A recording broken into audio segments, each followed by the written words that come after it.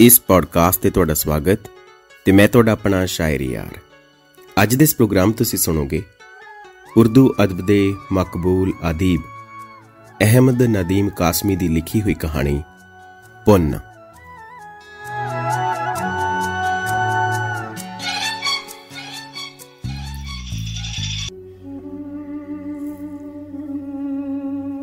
ਇਧਰ ਮਸਜਿਦ ਵਿੱਚ ਸਵੇਰ ਦੀ ਨਮਾਜ਼ ਖਤਮ ਹੋਈ। ਉਧਰ ਢੋਲ ਵੱਜਣ ਲੱਗ ਪਿਆ। ਅਜ਼ਾਨ ਸੁਣ ਜਿਹੜੇ ਲੋਕ ਮੰਜਿਆਂ ਤੇ ਪਾਸੇ ਪਰਤਣ ਲੱਗੇ ਸਨ, ਢੋਲ ਸੁਣਦਿਆਂ ਹੀ ਤੜਫ ਕੇ ਉੱਠੇ ਤੇ ਗਲੀਆਂ ਵਿੱਚ ਨੱਸ ਤੁਰੇ। ਹੇ ਅੱਲਾ ਸੁਖ ਹੋਵੇ। ਆਖਦਿਆਂ ਔਰਤਾਂ ਨੇ ਮੰਜੀਆਂ ਤੋਂ ਪੈਰ ਲਮਕਾ ਲਏ। ਢੋਲ ਲਗਾਤਾਰ ਵੱਜ ਰਿਹਾ ਸੀ ਤੇ ਫਿਜ਼ਾ ਇੰਜ ਗੂੰਜ ਰਹੀ ਸੀ ਜਿਵੇਂ ਢੋਲ ਦੀ ਥਾਂ ਫਿਜ਼ਾ ਆਪ ਵੱਜ ਰਹੀ ਹੋਵੇ।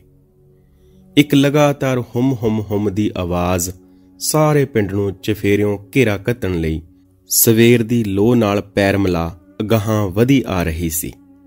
ਹਾਏ ਕਿਹਦਾ ਘਰ ਉਜੜ ਗਿਆ ਸਵੇਰੇ ਸਵੇਰੇ? ਔਰਤਾਂ ਨੇ ਗਲੀਆਂ ਵਿੱਚ ਆ ਪੁੱਛਿਆ। ਪਤਾ ਲੱਗਾ ਝੁੰਗਾ 'ਚ ਔਰ ਖੂਬ 'ਚ ਡਿੱਗ ਪਿਆ। ਮਾਂ ਪੁੱਤਰ ਦੋਵੇਂ ਪਾਣੀ ਖਿੱਚ ਰਹੇ ਸਨ ਕਿ ਭਰਿਆ ਬੋਕਾ ਹੱਥੋਂ ਛੁੱਟ ਗਿਆ।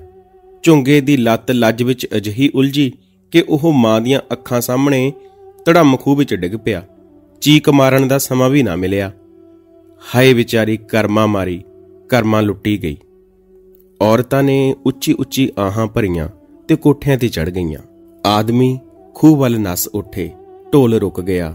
ਸਵੇਰ ਦਾ ਸਾਂਬਲਾ ਚਿਹਰਾ ਪੀਲਾ ਪੈਣ ਲੱਗਾ। ਕਰਮਾਂ ਦਾ ਪਤੀ ਹਰ ਸਵੇਰ ਪਿੰਡ ਦੇ ਪਛਾੜੀ ਮੀਲਾਂ ਲੰਮੀ ਢਲਵਾਨ ਵੱਲ ਨਿਕਲ ਜਾਂਦਾ, ਜਿੱਥੇ ਉਹ ਦੁਪਹਿਰ ਤੀਕ ਝਾੜੀਆਂ ਪੁੱਟਦਾ ਰਹਿੰਦਾ। ਇਹ ਸਰਕਾਰੀ ਰੱਖ ਸੀ ਇਸ ਲਈ ਉੱਥੇ ਕੁਹਾੜੀ ਲੈ ਕੇ ਜਾਣ ਦੀ ਮਨਾਹੀ ਸੀ।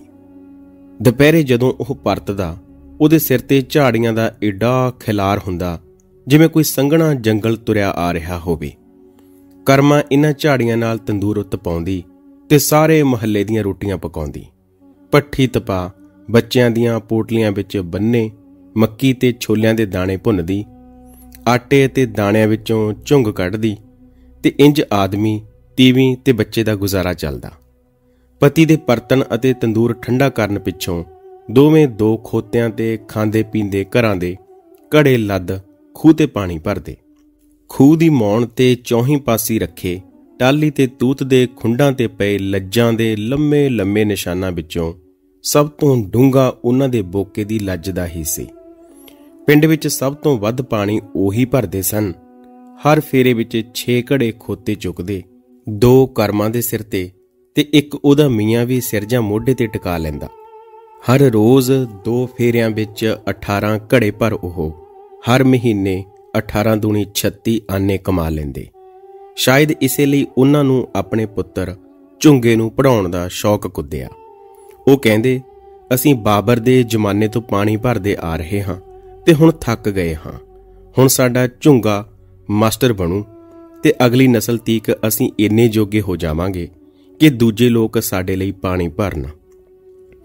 ਚੁੰਗਾ ਵੀ ਹੁਣ 6ਵੀਂ ਜਮਾਤ ਵਿੱਚ ਹੋ ਗਿਆ ਸੀ। ਕੜਿਆਂ ਦਾ ਹਿਸਾਬ ਜੋੜ ਲੈਂਦਾ ਸੀ। ਹਰ ਰਾਤ ਸੌਣ ਤੋਂ ਪਹਿਲਾਂ ਮਾਂ-ਬਾਪ ਨੂੰ ਕਿਤਾਬਾਂ ਵਿੱਚ ਲਿਖੀਆਂ ਗੱਲਾਂ ਸੁਣਾਉਂਦਾ ਤੇ ਉਹ ਨਾ ਸਮਝਦਿਆਂ ਵੀ ਖੁਸ਼ ਹੁੰਦੇ ਰਹਿੰਦੇ ਕਿ ਉਹਨਾਂ ਦਾ ਪੁੱਤਰ ਇਹ ਗੱਲਾਂ ਸਮਝਦਾ ਹੈ। ਫਿਰ ਇੱਕ ਦਿਨ ਕਰਮਾਂ ਦਾ ਪਤੀ ਸਰਕਾਰੀ ਰੱਖ ਵਿੱਚ ਕਿੱਕਰ ਤੇ ਚੜ ਕੇ ਇੱਕ ਝਾੜੀ ਨੂੰ ਝਟਕੇ ਮਾਰ-ਮਾਰ ਪੁੱਟਣ ਦੀ ਕੋਸ਼ਿਸ਼ ਕਰ ਰਿਹਾ ਸੀ ਤੇ ਅਚਾਨਕ ਉਹਦੇ ਅੰਦਾਜ਼ੇ ਤੋਂ ਪਹਿਲਾਂ ਹੀ ਝਾੜੀ ਪੁੱਟੀ ਗਈ। ਨਾਲ ਉਹਦੇ ਆਪਣੇ ਪੈਰ ਵੀ ਪੁੱਟੇ ਗਏ ਤੇ ਉਹ ਕਿੱਕਰ ਤੋਂ ਚਟਾਨ ਤੇ ਇੰਜ ਡਿੱਗਾ ਕਿ ਆਸੇ-ਪਾਸੇ ਉਹਦਾ ਖੂਨ ਦਾ ਛੜਕਾ ਹੋ ਗਿਆ ਤੇ ਉਹ ਅੱਲਾ ਨੂੰ ਪਿਆਰਾ ਹੋ ਗਿਆ। ਵਿਧਵਾ ਹੋ ਕੇ ਕਰਮਾ ਨੇ ਝੁੰਗੇ ਨੂੰ ਸਕੂਲੋਂ ਨਾ ਹਟਾਇਆ। ਤੰਦੂਰ ਉਸਨੇ ਹਮੇਸ਼ਾ ਲਈ ਠੰਡਾ ਕਰ ਦਿੱਤਾ ਪੱਠੀ ਤਪਾਉਣ ਲਈ ਉਹ ਆਪ ਹੀ ਕਿਸਾਨਾਂ ਦੇ ਘਰੋਂ ਖੁਰਲੀਆਂ ਵਿੱਚੋਂ ਬਚੇ ਖੁਚੇ ਟਾਂਡੇ ਡੱਕਰੇ ਲੈ ਆਉਂਦੀ। ਫਿਰ ਮਾਂ ਪੁੱਤ ਖੂਹ ਤੇ ਜਾ ਕੇ ਖਾਂਦੇ ਪੀਂਦੇ ਘਰਾਂ ਦਾ ਪਾਣੀ ਭਰਦੇ। ਭੀੜ ਤੋਂ ਬਚਣ ਲਈ ਉਹ ਮੂੰਹ ਹਨੇਰੇ ਹੀ ਪਾਣੀ ਭਰਨ ਲੱਗ ਪੈਂਦੇ ਤੇ ਸੂਰਜ ਚੜ੍ਹਨ ਤੀਕ ਕੰਮ ਨਿਮੇੜ ਲੈਂਦੇ। ਫਿਰ ਝੁੰਗਾ ਸਕੂਲ ਚਲਾ ਜਾਂਦਾ ਤੇ ਮਾਂ ਬਾਲਣ ਲੈਣ ਲਈ। ਹਾਲੀ ਕਰਮਾਂ ਦੇ ਪਤੀ ਦੀ ਮੌਤ ਨੂੰ 3 ਮਹੀਨੇ ਵੀ ਨਹੀਂ ਸਨ ਹੋਏ। ਤੇ ਹਾਲੀ ਉਹ ਆਪਣੇ ਝੁੰਗੇ ਨੂੰ ਬੋਕਾ ਸੁੱਟਣ ਤੇ ਖਿੱਚਣ ਵੇਲੇ ਲੱਜ ਤੋਂ ਪਾਸੇ ਹਟ ਕੇ ਖਲੋਣ ਦੀ ਜਾਂਚ ਵੀ ਨਹੀਂ ਸੀ ਸਕਾ ਸਕੀ ਕਿ ਝੁੰਗੇ ਨੂੰ ਬਿਜਲੀ ਵਾਂਗ ਨਸਦੀ ਲੱਜ ਨੇ ਲਪੇਟ ਵਿੱਚ ਲੈ ਮੌਣ ਨਾਲ ਪਟਕਾ ਕੇ ਮਾਰਿਆ ਤੇ ਕਰਮਾ ਬੇਹੋਸ਼ ਹੋ ਕੇ ਥਾਂ ਡਿੱਗ ਪਈ। ਉਹਨੇ ਆਪਣੇ ਪੁੱਤ ਨੂੰ ਧੜਮ ਖੂਹ ਵਿੱਚ ਡਿੱਗਦਿਆਂ ਤੱਕ ਵੀ ਨਾ ਸੁਣਿਆ। ਦੋ ਹੋਰ ਚਿਉਰ ਵੀ ਉੱਥੇ ਪਾਣੀ ਭਰ ਰਹੇ ਸਨ। ਉਹਨਾਂ ਵਿੱਚੋਂ ਇੱਕ ਕਰਮਾ ਦੇ ਕੋਲ ਹੀ ਵਹਿ ਗਿਆ। ਕਿ ਕਿਤੇ ਜੋਸ਼ ਵਿੱਚ ਆ ਕੇ ਉਹ ਵੀ ਖੂਹ ਵਿੱਚ ਨਾ ਛਾਲ ਮਾਰ ਦੇਵੇ। ਦੂਜਾ ਪਿੰਡ ਵੱਲ ਨਸਿਆ ਤੇ ਗਲੀ-ਗਲੀ ਹਾਦਸੇ ਬਾਰੇ ਹੋਕਾ ਦੇਣ ਲੱਗਾ। ਫਿਰ ਮਸਜਿਦ 'ਚ ਪੁੱਜ ਢੋਲ ਚੁੱਕਿਆ ਤੇ ਉੱਥੇ ਹੀ ਦੇਲੀ ਤੇ ਬਹਿ ਕੇ ਢੋਲ ਨੂੰ ਪਾਗਲਾ ਵਾਂਗ ਕੁੱਟਣ ਲੱਗ ਪਿਆ। ਖੂਹ ਪਹਾੜੀ ਤੇ ਵਸੇ ਪਿੰਡ ਦੇ ਪੈਰਾਂ ਵਿੱਚ ਸੀ। ਜਦੋਂ ਲੋਕ ਖੂਹ ਵੱਲ ਨਸੇ ਤਾਂ ਜਿਵੇਂ ਰਾਹ ਭੁੱਲ ਗਏ। ਉਹ ਬਾਹੋ ਦਾਹੀ ਖੇਤਾਂ ਵਿੱਚੋਂ ਗੋਡੇ-ਗੋਡੇ ਫਸਲਾਂ ਮਿੱਧਦੇ ਬੱਟਾਂ ਟੱਪਦੇ ਖੂਹ ਵੱਲ ਨਸ ਉੱਠੇ। ਕੋਠਿਆਂ ਤੇ ਬੈਠੀਆਂ ਤੀਵੀਆਂ ਖੂਹ ਕੋਲੋਂ ਤੱਕਦਿਆਂ ਇੰਜ ਜਾਪਦੀਆਂ ਸਨ, ਜਿਵੇਂ ਕਾਲੀਆਂ ਗੰਢੜੀਆਂ ਦੀਆਂ ਕਤਾਰਾਂ ਹੋਣ। ਬੱਚੇ ਗਲੀਆਂ ਵਿੱਚੋਂ ਦੀ ਭੱਜ ਰਹੇ ਸਨ। ਪੂਰਾ ਪਿੰਡ ਹੀ ਖੂਹ ਵੱਲ ਉਲਰ ਪਿਆ। ਖੂਹ ਤੇ ਸਭ ਤੋਂ ਪਹਿਲਾਂ ਚਿਉਰ ਕੁਮਿਆਰ ਮੋਚੀ, ਮਰਾਸੀ, ਨਾਈ ਤੇ ਧੋਬੀ ਪੁੱਜੇ। ਝੁੰਗੇ ਦੀ ਮਾਂ ਕੋਲ ਬੈਠਾ ਝਿਓਰ ਲੋਕਾਂ ਵੱਲ ਇੰਜ ਤੱਕ ਰਿਹਾ ਸੀ, ਜਿਵੇਂ ਉਹਦੀਆਂ ਅੱਖਾਂ ਪਥਰਾ ਗਈਆਂ ਹੋਣ। ਝੁੰਗੇ, ਓਏ ਝੁੰਗੇ। ਇਕੱਠਿਆਂ ਸਭ ਨੇ ਖੂਹ ਦੀ ਮੌਣ ਤੇ ਝੁਕ ਕੇ ਆਖਿਆ, ਆਵਾਜ਼ ਡੂੰਘੇ ਖੂਹ ਦੀ ਗੁਲਾਈ ਵਿੱਚ ਚੱਕਰ ਖਾਂਦੀ ਜਿਵੇਂ ਹੇਠਾਂ ਗਈ ਸੀ ਉੰਜ ਹੀ ਗੂੰਜ ਬਣ ਕੇ ਵਾਪਸ ਆ ਗਈ। ਦੂਰ ਖੂਹ ਦੇ ਹੇਠਾਂ ਥਾਲੀ ਵਾਂਗ ਚਮਕਦਾ ਪਾਣੀ ਉੰਜ ਦਾ ਉੰਜ ਹੀ ਅਹਿਲ ਖੜਾ ਸੀ। ਰੱਸੇ ਦੇ ਇੱਕ ਸਿਰੇ ਤੇ ਬੰਨੀ ਮਜ਼ਬੂਤ ਲੱਕੜ ਤੇ ਇੱਕ ਨੌਜਵਾਨ ਗੋਤਾਖੋਰ ਪੈਰ ਲਮਕਾ ਕੇ ਬਹਿ ਗਿਆ। ਤਿੰਨ ਜਾਣਿਆਂ ਨੇ ਰੱਸੇ ਦਾ ਦੂਜਾ ਸਿਰਾ ਫੜ ਲਿਆ। ਗੋਤਾਖੋਰ ਨੇ ਰੱਬ ਦਾ ਨਾਂ ਲੈ ਖੂਹ ਵਿੱਚ ਤੱਕਿਆ ਤੇ ਬਾਕੀ ਫਿਰ ਉਹਨੂੰ ਹੌਲੀ-ਹੌਲੀ ਹੇਠਾਂ ਉਤਾਰਨ ਲੱਗ ਪਏ। ਲੋਕਾਂ ਦੀ ਭੀੜ ਪਲ-ਪਲ ਵੱਧਦੀ ਜਾ ਰਹੀ ਸੀ। ਕੁਝ ਝਿਉਰੀਆਂ ਵੀ ਵੈਣ ਪਾਉਂਦੀਆਂ ਹੋਈਆਂ, ਕਰਮਾਂ ਦੇ ਮੂੰਹ ਤੇ ਪਾਣੀ ਦੇ ਛਿੱਟੇ ਮਾਰਨ ਲੱਗ ਪਈਆਂ। ਲੋਕ ਬੱਚਿਆਂ ਨੂੰ ਖੂਹ ਦੇ ਨੇੜੇ ਆਉਣ ਤੋਂ ਵਰਜ ਰਹੇ ਸਨ। ਗੋਤਾਖੋਰ ਹੁਣ ਅੱਧ ਤੀਕ ਪੁੱਜ ਗਿਆ ਸੀ। ਅਚਾਨਕ ਕਰਮਾ ਹੋਸ਼ ਵਿੱਚ ਆਈ। ਅੱਖਾਂ ਖੋਲੀਆਂ। ਪੁਤਲੀਆਂ ਵਿੱਚ ਜਿਵੇਂ ਕੋਈ ਭਿਆਨਕ ਮੱਚ ਪਈ ਤੇ ਉਹ ਇੱਕੋ ਝਟਕੇ ਨਾਲ ਉੱਠ ਖਲੋਤੀ, ਪਰ ਔਰਤਾਂ ਨੇ ਉਹਨੂੰ ਜਕੜ ਲਿਆ। ਫਿਰ ਉਹ ਇੱਕਦਮ ਬੱਚਿਆਂ ਵਾਂਗ ਰੋਣ ਲੱਗੀ ਤੇ ਦੁਹੱਥਣੀ ਪਿੱਟਣ ਲੱਗੀ। ਹਾਏ ਮੇਰਾ ਝੁੰਗਾ, ਹਾਏ ਮੇਰਾ ਲਾਲ, ਹਾਏ ਮੇਰੇ ਚੰਨ ਦਾ ਟੋਟਾ, ਮੇਰਾ ਸੋਨੇ ਦਾ ਦਾਣਾ, ਝੁੰਗੇ, ਵੇ ਝੁੰਗੇ, ਤੈਨੂੰ ਰੱਬ ਦਾ ਵਾਸਤਾ ਹੀ ਤੂੰ ਮਰੀ ਨਾ, ਇੰਜ ਹੱਸਦਾ ਹੱਸਦਾ ਬਾਹਰ ਨਿਕਲਾ, ਜਿਵੇਂ ਸਕੂਲੋਂ ਆਉਣਾ ਹੁੰਨਾ ਮਰੀ ਨਾ ਪੁੱਤ। ਜੇ ਤੂੰ ਮਰ ਗਿਓ ਤਾਂ ਖੁਦਾ ਦੀ ਖੁਦਾਈ 'ਚ ਜਿਉਂਦਾ ਕੌਣ ਰਹੇਗਾ? ਕਰਮਾ ਰੋਂਦੀ ਤੇ ਵੈਣ ਪਾਉਂਦੀ ਰਹੀ। ਔਰਤਾਂ ਉਹਨੂੰ ਦਿਲਾਸਾ ਦੇਣ ਦੀ ਥਾਂ ਆਪ ਰੋਂਦੀਆਂ ਰਹੀਆਂ। ਖੂਹ ਦਿਵਾਲੇ ਮੇਲੇ ਵਾਂਗ ਭੀੜ ਜੁੜੀ ਖਲੋਤੀ ਰਹੀ ਸੀ। 30 40 ਆਦਮੀ ਖੂਹ ਵਿੱਚ ਝੁਕ-ਝੁਕ ਕੇ ਇੱਕ ਦੂਜੇ ਨੂੰ ਝੁਕ ਕੇ ਵੇਖਣ ਤੋਂ ਹੋੜ ਰਹੇ ਸਨ ਅਤੇ ਤਾਕੀਦਾਂ ਕਰ ਰਹੇ ਸਨ ਕਿ ਵੇਖਣਾ ਕਿਤੇ ਇੱਕ ਵੀ ਕੰਕਰ ਖੂਹ ਵਿੱਚ ਨਾ ਡਿੱਗੇ। ਜੇ ਡਿੱਗ ਪਿਆ ਤਾਂ ਗੋਤਾਖੋਰ ਦੇ ਗੋਲੀ ਵਾਂਗੂ ਲੱਗੂ। ਫਿਰ ਗੋਤਾਖੋਰ ਦੀ ਆਵਾਜ਼ ਆਈ, ਮੈਂ ਅੱਪੜ ਗਿਆ, ਰੱਸਾ ਜਰਾ ਢਿੱਲਾ ਛੱਡ ਦਿਓ, ਮੈਂ ਗੋਤਾ ਮਾਰਾਂ। ਸਭ ਨੇ ਸਾਹ ਤੀਕ ਰੋਕ ਲਏ, ਕਰਮਾ ਵੀ ਚੁੱਪ ਕਰ ਗਈ। ਇਧਰ ਹਵਾ ਵਿੱਚ ਇੱਕ ਟਟਹਿਰੀ ਧਿਆਈਆਂ ਧਿਆਈਆਂ ਧਿਆਈਆਂ ਪੁਕਾਰਦੀ ਲੰਘ ਗਈ। ਖੂਹ ਉੱਤੇ ਝੁਕੀ ਹੋਈ ਟਾਲੀ ਨਾਲੋਂ ਇੱਕ ਪੀਲਾ ਪੱਤਾ ਟੁੱਟਿਆ ਅਤੇ ਪੰਬੀਰੀ ਵਾਂਗ ਘੁੰਮਦਾ ਹੋਇਆ ਖੂਹ ਵਿੱਚ ਲੈ ਗਿਆ। ਕੁਝ ਨਹੀਂ ਮਿਲਿਆ, ਮੁੜ ਗੋਤਾ ਮਾਰਦਾ ਜਿਵੇਂ ਪਤਾਲ ਵਿੱਚੋਂ ਆਵਾਜ਼ ਆਈ, ਲੋਕ ਘੁਸਰ ਮੁਸਰ ਕਰਨ ਲੱਗੇ। ਕਰਮਾ ਨੇ ਵਹਿਸ਼ਤ ਨਾਲ ਉਹਨਾਂ ਵੱਲ ਤੱਕਿਆ। ਫਿਰ ਉਹ ਆਪਣੇ ਵਾਲ ਪੁੱਟਣ ਲੱਗ ਪਈ। ਗੋਤਾਖੋਰ ਮੁੜ ਬੋਲਿਆ, ਪਾਣੀ ਬਹੁਤ ਡੂੰਘਾ ਹੈ, ਮੈਂ ਥੱਲੇ ਤਾਈਂ ਪੁੱਜ ਨਹੀਂ ਸਕਿਆ, ਸਾਹ ਟੁੱਟ ਜਾਂਦਾ ਮੈਨੂੰ ਬਾਹਰ ਖਿੱਚ ਲਵੋ। ਹਾਏ ਵੇ ਪੁੱਤ, ਜਰਾ ਇਧਰ ਉਧਰ ਕੰਡੇ ਕੰਡੇ ਚਾ ਵੇਖ। ਕਰਮਾ ਖੂਹ ਵਿੱਚ ਝੁਕ ਚੀਕੀ। ਔਰਤਾਂ ਨੇ ਉਹਨੂੰ ਬਾਹੋਂ ਫੜਿਆ ਹੋਇਆ ਸੀ। ਉਹ ਬੋਲਦੀ ਗਈ ਹਲੀ ਬਾਹਰ ਨਾ ਨਿਕਲ। ਤੇਰੀ ਮਾਂ ਤੇਰੀਆਂ ਖੁਸ਼ੀਆਂ ਵੇਖ-ਵੇਖ ਨਾ ਰੱਜੇ। ਪੁੱਤ ਬਣ ਕੇ ਇੱਕ ਗੋਤਾ ਹੋਰ। ਉਹ ਲੱਪ-ਲੱਪ ਹੰਝੂ ਕੇਰਨ ਲੱਗੀ। ਕੁਝ ਪਲ ਚੁੱਪ ਵਰਤ ਰਹੀ ਸੀ। ਢੋਲ ਵਜਾਉਣ ਵਾਲਾ ਮੀਰੂ ਝਿਉਰ ਸਿਰ ਤੇ ਮੰਜੇ ਚੁੱਕ ਨਸਿਆ ਨਸਿਆ ਆ ਪੁੱਜਾ। ਨਿਕਲਿਆ, ਉਹਨੇ ਪੁੱਛਿਆ, ਹਾਲ ਹੀ ਨਹੀਂ? ਕਿਸੇ ਨੇ ਜਵਾਬ ਦਿੱਤਾ। ਨਹੀਂ ਮਾਸੀ, ਕੋਈ ਨਾਂ ਨਿਸ਼ਾਨ ਨਹੀਂ। ਪਾਣੀ ਬਹੁਤ ਡੂੰਘਾ ਹੈ। ਮੇਰੇ ਪੈਰ ਤਾਂ ਹੇਠਾਂ ਲੱਗਦੇ ਹੀ ਨਹੀਂ। ਮੈਨੂੰ ਬਾਹਰ ਖਿੱਚ ਲਵੋ। ਕਰਮਾ ਦੁਹਿਥੜੀ ਪਿੱਟਣ ਲੱਗੀ ਤੇ ਲੋਕ ਗੋਤਾਖੋਰ ਨੂੰ ਬਾਹਰ ਖਿੱਚਣ ਲੱਗ ਪਏ। ਫਿਰ ਇੱਕ ਹੋਰ ਗੋਤਾਖੋਰ ਨੂੰ ਉਤਾਰਿਆ ਗਿਆ। ਇੰਜ ਵਾਰੀ-ਵਾਰੀ 6 ਗੋਤਾਖੋਰ ਖੂਹ ਵਿੱਚ ਉਤਰੇ ਤੇ ਇਹ ਕਹਿੰਦਿਆਂ ਬਾਹਰ ਨਿਕਲ ਆਏ ਕਿ ਪਤਾ ਨਹੀਂ ਖੂਹ ਵਿੱਚ ਇੱਕਦਮ ਇੰਨਾ ਪਾਣੀ ਕਿੱਥੋਂ ਆ ਗਿਆ। ਥਾਂ ਹੀ ਨਹੀਂ ਮਿਲਦੀ। ਲੋਕ 4-4 5-5 ਦੀਆਂ ਟੋਲੀਆਂ ਵਿੱਚ ਇੱਧਰ-ਉੱਧਰ ਖਿੰਡ ਗਏ। ਕਰਮਾ ਰੋਂਦੀ ਪਿੱਟਦੀ ਰਹੀ। ਇੱਕ ਆਦਮੀ ਗਵਾਂਢੀ ਪਿੰਡ ਦੇ ਮਸ਼ਹੂਰ ਗੋਤਾਖੋਰ ਨੂੰ ਲੈਣ ਲਈ ਨਸਿਆ। ਝਿਉਰ ਅਤੇ ਕੁਮਿਆਰ ਖੂਹ ਤੋਂ ਪਾਸੇ ਹਟ ਟਾਲੀ ਨਾਲ ਲੱਗ ਕੇ ਬਹਿ ਗਏ। ਕਰਮਾਂ ਨੂੰ ਵੀ ਔਰਤਾਂ ਪਾਸੇ ਲੈ ਗਈਆਂ। ਤਾਜੀ ਧੁੱਪ ਵਿੱਚ ਖੂਹ ਦਾ ਮੂੰਹ ਆਮ ਨਾਲੋਂ ਬਹੁਤਾ ਫੈਲ ਗਿਆ। ਕੁਝ ਲੋਕ ਫਿਰਦੇ ਫਰਾਂਦੇ ਖੂਹ ਤੋਂ ਦੂਰ ਨਿਕਲ ਗਏ ਤੇ ਫਿਰ ਪਿੰਡ ਦੇ ਰਾਹ ਪੈ ਗਏ। ਵਨੇਰਿਆਂ ਤੋਂ ਔਰਤਾਂ ਦੀ ਗਿਣਤੀ ਘਟ ਹੋ ਗਈ।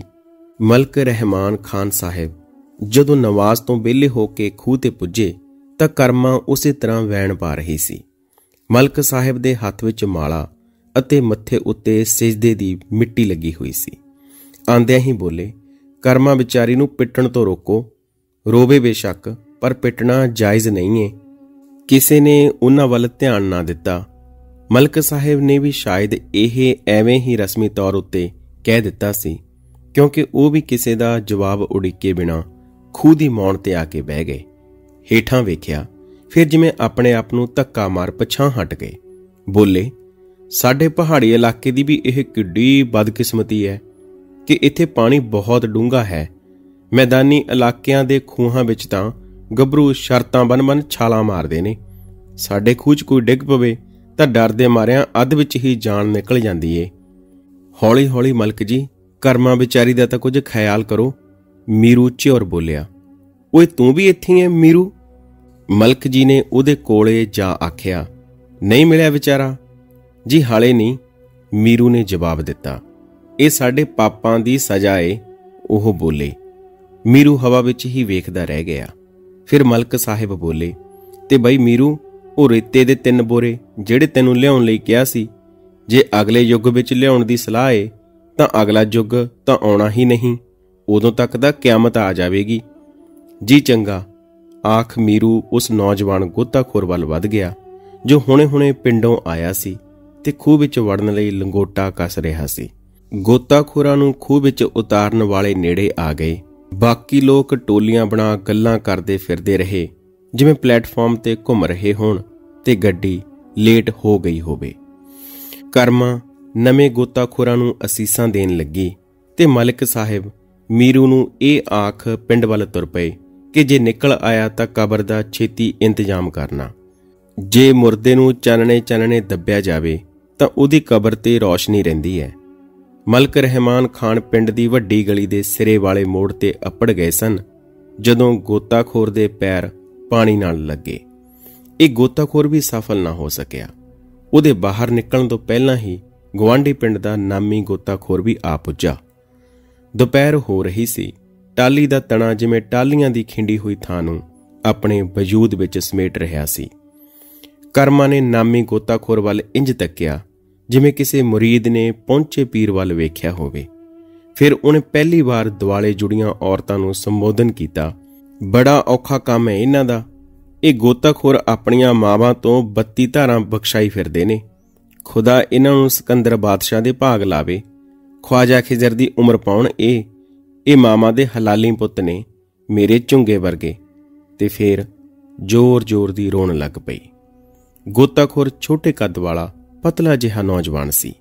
ਉਹਨੇ ਦੋਹਾਂ ਹੱਥਾਂ ਨਾਲ ਰੱਸੀ ਫੜ, ਖੂਹ ਦੇ ਮਹਿਲ ਦੇ ਨਾਲ-ਨਾਲ ਪੈਰ ਟਿਕਾ, ਇੰਜ ਤੇਜ਼ੀ ਨਾਲ ਉਤਰਨਾ ਸ਼ੁਰੂ ਕੀਤਾ, ਜਿਵੇਂ ਗਲੀ ਵਿੱਚ ਤੁਰਿਆ ਜਾ ਰਿਹਾ ਹੋਵੇ। ਰੱਸਾ ਢਿੱਲਾ ਛੱਡੋ। ਹੇਠਾਂ ਪੁੱਜ ਬੋਲਿਆ, ਰੱਸਾ ਢਿੱਲਾ ਛੱਡ ਦਿਓ। ਖੂਹ ਦੀ ਮੌਣ ਤੇ ਸਨਾਟਾ ਛਾ ਗਿਆ। ਕਰਮਾ ਨੇ ਦੁਆ ਲਈ ਹੱਥ ਉਤਾਂ ਚੁੱਕੇ। ਬਹੁਤ ਡੂੰਘਾ ਪਾਣੀ ਹੈ ਭਰਾਵੋ, ਇੱਕ ਗੋਤਾ ਹੋਰ ਲਾ ਕੇ ਵੇਖਦਾ। ਗੋਤਾਖੋਰ ਨੇ ਲਗਾਤਾਰ ਚਾਰ ਗੋਤੇ ਮਾਰੇ ਤੇ ਜਦੋਂ ਪੰਜਵੇਂ ਗੋਤੇ ਪਿੱਛੋਂ ਉਹਨੇ ਆਵਾਜ਼ ਦਿੱਤੀ, ਮਿਲ ਗਿਆ ਬਈ ਮੁੰਡਾ। ਤਾਂ ਦੁਆ ਮੰਗ ਰਹੀ ਕਰਮਾ ਦੇ ਚਿਹਰੇ ਤੇ ਚਮਕ ਆ ਗਈ। ਫਿਰ ਇਹ ਚਮਕ ਬੁਝ ਗਈ ਤੇ ਉਹਦਾ ਚਿਹਰਾ ਭਿਆਨਕ ਹੋ ਗਿਆ। ਕਿਸੇ ਨੇ ਗੋਤਾਖੋਰ ਤੋਂ ਇਹ ਪੁੱਛਣ ਦੀ ਲੋੜ ਨਾ ਸਮਝੀ ਕਿ ਮੁੰਡਾ ਜਿਉਂਦਾ ਹੈ ਜਾਂ ਮਰ ਗਿਆ। ਗੋਤਾਖੋਰ ਨੇ ਵੀ ਇਸ ਬਾਰੇ ਕੁਝ ਆਖਣਾ ਠੀਕ ਨਾ ਸਮਝਿਆ।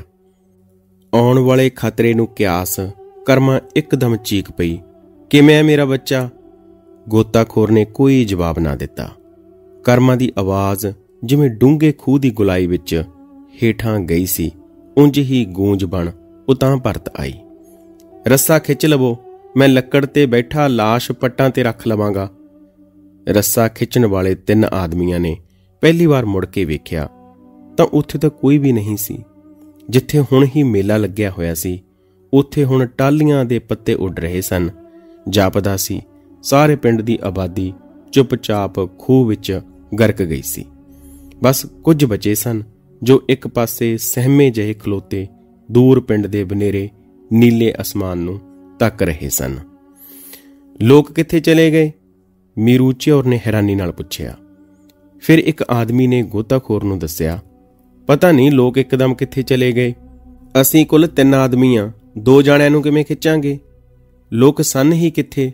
ਗੋਤਾਖੋਰ ਬੋਲਿਆ, ਮੈਂ ਤਾਂ ਜਦੋਂ ਆਇਆ ਸਾਂ, ਤੁਸੀਂ ਤਿੰਨ ਹੀ ਸੌ, ਜਾਂ ਮਾਸੀ ਕਰਮਾ ਤੇ ਕੁਝ ਬੱਚੇ ਸਨ। ਕਿਸੇ ਨੂੰ ਪਤਾ ਨਹੀਂ ਲੱਗਾ ਸੀ ਕਿ ਲੋਕ ਕਦੋਂ ਪਿੰਡ ਪਰਤ ਆਪਣੇ ਕੰਮ ਧੰਦਿਆਂ ਵਿੱਚ ਰੁੱਝ ਗਏ ਸਨ। ਘਰਾਂ ਵਿੱਚੋਂ ਧੂਆਂ ਉੱਠ ਰਿਹਾ ਸੀ। ਨਾਲ ਵਾਲੀਆਂ ਪਹਾੜੀਆਂ ਤੇ ਈਜੜ ਚੱਲ ਰਹੇ ਸਨ।